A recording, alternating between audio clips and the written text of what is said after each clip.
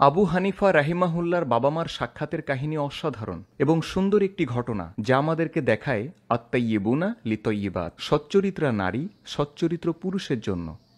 সাবিত ইবনে জুতা, তিনি একদিন হাঁটছিলেন এবং এটি তিনি আবু হানিফার মাকে বিয়ে করার পূর্বে এবং তিনি যখন হাঁটছিলেন, বাগানের বেষ্টনীতে একটি ফল ঝুলছিল। চিন্তা করেন, আপনি হাঁটছেন এবং একটি বাগান দেখলেন আর বাগানের বেষ্টনীতে দেখছেন এটি ঝুলে আছে। তিনি একটি ফল ছিঁড়ে নিলেন, এটি খেলেন এবং এরপর তার মধ্যে একটি অপরাধবোধ জন্মালো। তিনি ওই ঘরের মালিকের কাছে ফিরে গেলেন। তিনি বললেন, দেখুন, আমি আপনার বাগানের একটি ফল খেয়েছি। আমি তার জন্য ক্ষতিপূরণ দিতে চাই। আমি খারাপ বোধ করছি যে আমি আপনার অনুমতি নেইনি। ইত্যাদি ইত্যাদি। এবং ওই ঘরের মালিক বললেন, আপনি কি আসলে আমাকে এর বিনিময়ে কিছু দিতে চান? তিনি বললেন, তাহলে আসুন। আমার মেয়ে বধির, অন্ধ এবং তার আরও সমস্যা আছে।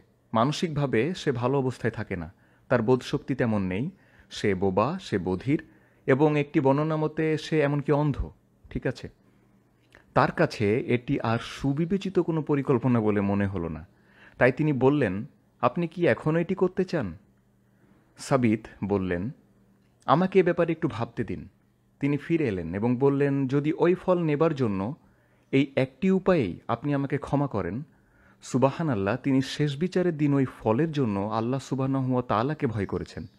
এবং তিনি বললেন, আমি এটি করব। তো তিনি প্রথমবারের মতো ওই মহিলার কক্ষে গেলেন এবং তিনি বললেন, আসসালামু আলাইকুম। তিনি এমনকি তার দিকে তাকালেনও না, কারণ তিনি ভেবেছিলেন একটা বিপর্যয় ঘটতে যাচ্ছে। তো উত্তর যখন আসলো, ওয়ালাইকুম আসসালাম, তিনি তার দিকে তাকালেন এবং বললেন, কি, আপনি আমাকে শুনতে পেরেছেন? আপনি কথা বলতে পারেন? আপনি দেখতে পারেন? এবং তিনি একজন সুন্দরী মহিলাও ছিলেন। তিনি বললেন, এসব কি? আপনার বাবা বললেন, আপনি এই এই রকম এবং তিনি জবাব দিলেন তিনি বললেন, আল্লাহর নিকট অসন্তোষজনক এমন সবকিছু থেকে আমি বধির। আমি গিবোধ শুনি না। আমি মিথ্যা কথা শুনি না। আমি বহুতান বা মিথ্যা অপবাদ শুনি না। আমি সকল অনর্থক কথাবার্তা থেকে নিজের কানকে পবিত্র করেছি। আমি এসব এমনকি শুনিও না। তিনি বললেন, আল্লাহ সন্তুষ্ট নন এমন কথাবার্তা বলার ক্ষেত্রে আমি বোবা। এবং আল্লাহ সুবানাহুয়া তাআলা যেসব জিনিসের প্রতি দৃষ্টিপাত করতে নিষেধ করেছেন, সেসবের প্রতি আমি অন্ধ। যেসব জ্ঞান উপকারী নয়, আমি ইচ্ছাকৃতভাবেই সেসবের ব্যাপারে নিজেকে মূর্খ রেখেছি। যেসব বিষয় উপকারী নয়, আমি ইচ্ছাকৃতভাবেই সেসবের ব্যাপারে নিজেকে মূর্খ রেখেছি। সুবাহান আল্লাহ এটি ছিল তার উত্তর।